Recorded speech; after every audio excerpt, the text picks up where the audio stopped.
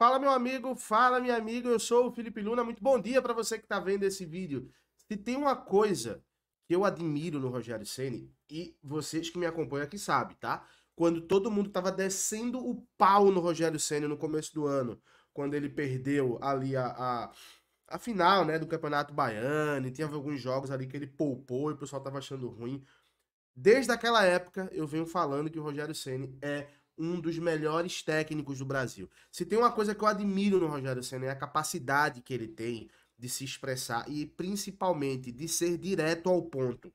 Ele não é um cara que vai te enrolar na conversa, sabe? Ele não é um cara que vai tirar proveito de uma situação. Não é porque o time venceu e você acha que o time jogou bem que ele vai afirmar que jogou bem também. Ele sabe aquilo que ele pode extrair do Bahia. E se você acha que mesmo com dificuldades o Bahia conseguiu vencer e foi melhor do que o Fortaleza, você vai se surpreender com o que o Rogério Ceni falou, porque o que o Rogério Ceni falou só mostra como o quanto o Bahia tem um técnico que está pensando para frente, que tem uma cabeça muito mais evoluída do que vários técnicos de futebol brasileiro e de como esse Bahia ainda pode extrair, como ele pode extrair ainda muito mais desse Bahia no Campeonato Brasileiro da Primeira Divisão. Eu vou explicar tudo para você nesse vídeo. Antes de mais nada, te inscreve, irmão. Ativa o sininho, deixa o teu like. Estamos trazendo conteúdo do Bahia todo santo dia. Pré-jogo, pós-jogo, contratação, rumores, informações. Os grandes destaques que a gente vem vendo do Bahia, a gente tá trazendo aqui no canal do Luna, então te inscreve, cara. Aqui fica tranquilo, ó. Luna, tu é pernambucano, esse sotaque é pernambucano. Sou pernambucano, sim.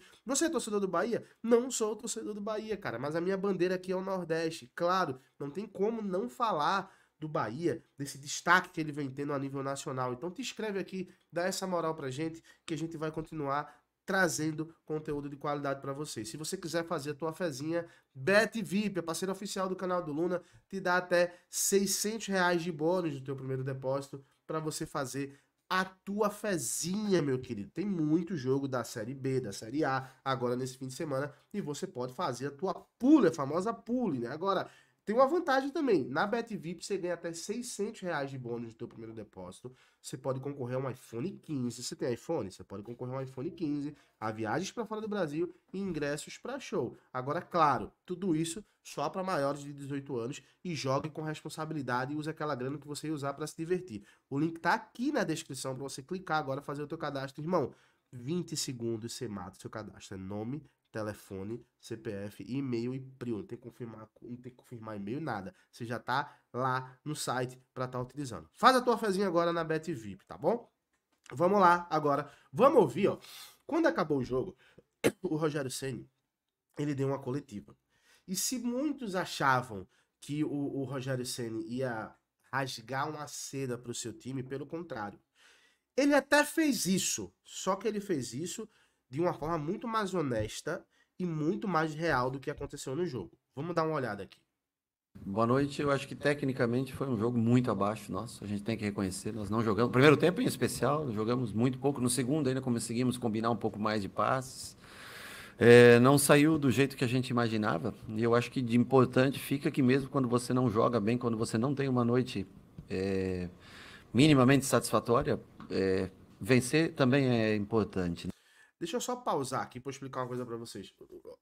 Ele foi perguntado sobre o início do primeiro tempo, do jogo, foi o primeiro tempo, e o que mudou no time no segundo tempo. E ele foi muito honesto, cara. Falou, ó, não jogamos bem no primeiro tempo. O time ficou muito abaixo do que a gente poderia fazer. E, e é um fato, tá? Não tem problema. Isso aí, ó.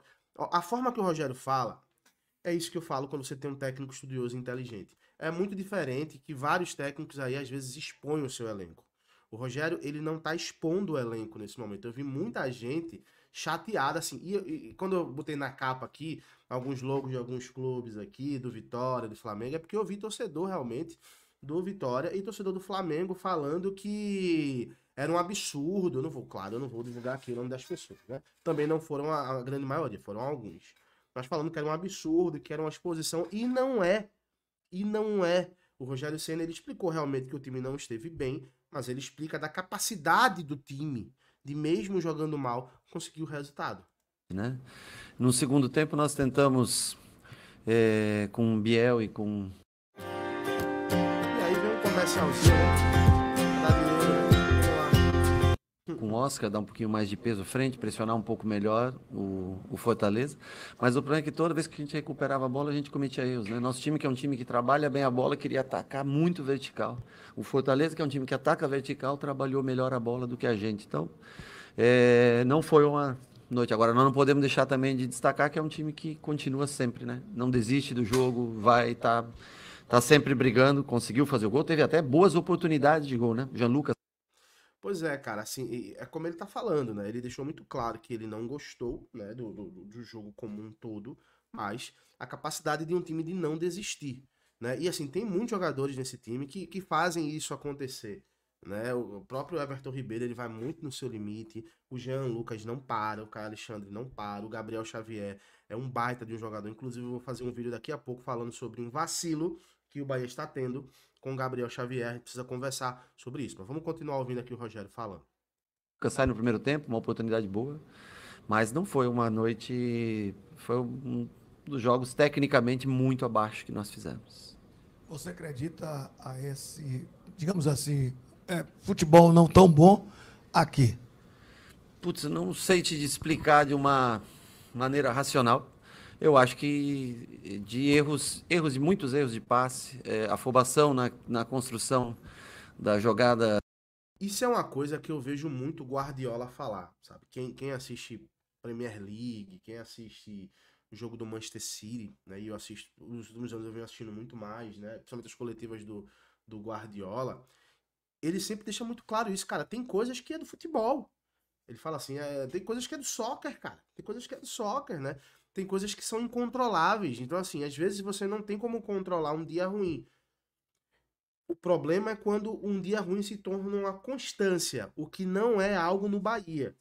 O que não é algo com o Bahia, né? sabe? É, é, é não é uma constância o Bahia jogar mal. O Bahia vem jogando bem na sua grande maioria, na, na grande maioria das partidas, né? Mas o, o, o Pep Guardiola, ele fala muito isso, cara. Tem coisas que é do futebol, às vezes você faz um investimento gigante pessoa jogar com um time de um investimento muito menor, que tá num dia muito melhor, que teve uma motivação no vestiário muito maior, que entrou com sangue nos olhos, diferente do seu adversário, vai e perde. Sabe? Isso faz parte do futebol. Isso aí às vezes é uma coisa que não tem como explicar. É, quando roubava a bola no campo de defesa para tentar acelerava demais e teria que trabalhar um pouco mais essa bola para construir melhor a jogada. Eu acho que nós, nós não, tecnicamente foram erros, acho que nós erramos mais hoje do que nas últimas sete rodadas, tecnicamente. Então, assim, não, o sistema de jogo é o mesmo, os jogadores, né, praticamente teve as trocas que aconteceram por necessidade, realmente, por jogadores que estavam fora ou que foram para a seleção, enfim. Mas eu não sei te explicar como nós erramos tanto no primeiro tempo, porque nós treinamos muito bem durante a semana. Ontem fizemos um bom treinamento, anteontem um bom treinamento de, de 10v10 com situações de jogo e hoje nós não conseguimos executar da maneira como nós, como não refletiu o que foi a semana de trabalho.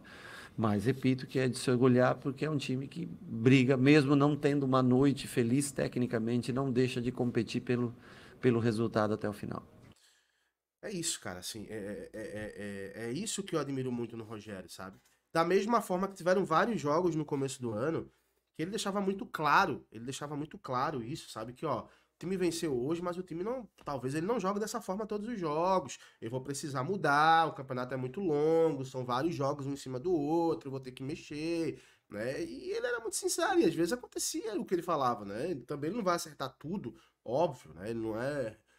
Ele não é o senhor né, do futebol máximo, né? Mas, claro, é, na sua grande maioria, o que ele vem falando vem sendo muito coerente. Eu vou contar um bastidor para vocês aqui pra gente terminar esse vídeo, cara. É uma coisa que eu não contei, sabe? Eu não, eu, eu, eu não contei, sabe? É, é, o Rogério Ceni ele é um cara que ele não se esconde de falar. Eu lembro que no começo desse ano eu fui acompanhar é, é, é Bahia Esporte, né, na, na Arena Fonte Nova, inclusive, pô, super bem recebido pela torcida do Bahia.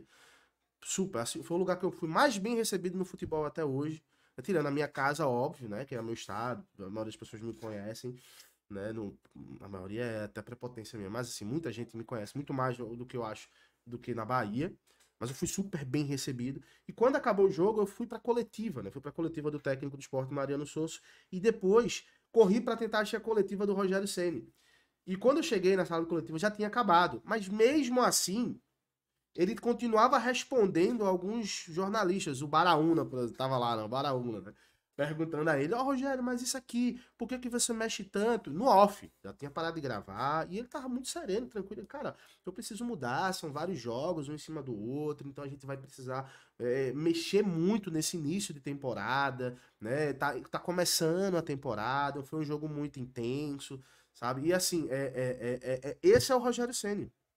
Tem falhas, tem erros, como todo ser humano, como qualquer profissional, mas é um cara que não se esconde. E a serenidade, sabe? E a, a, a forma dele de ser um cara. Como é que eu posso usar essa palavra? De ser um cara muito aberto, muito claro. É, acho que a palavra nem é essa, cara. Mas ser um cara muito transparente, essa é a verdade. Faz com que o Rogério Senna tenha um domínio desse time, sabe? Quando você entende, porque assim, às vezes as pessoas são diretas, eu sou, eu, eu sou um cara que gosta de ser muito direto.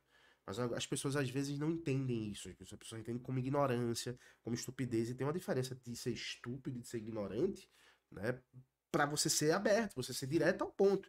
E esse é o Rogério Ceni. E com os anos ele foi também aprendendo esse time, sabe? De ser direto, de ser mais claro, sem transparecer ignorância, sabe? Não que ele fosse um cara ignorante, não, mas é porque, infelizmente, quando a gente se comunica, a gente precisa né, explicar o que a gente quer de forma direta, quem gosta de ser direto, e ter a inteligência emocional de não transparecer uma ignorância. É basicamente isso. Você entendeu. Mas comenta aqui o que, é que você achou né, dessa coletiva do Rogério Senna. E é claro, daqui a pouco eu tô voltando com mais um conteúdo, tá bom? Um abraço, fica todo mundo com Deus. Até já. Tchau, tchau.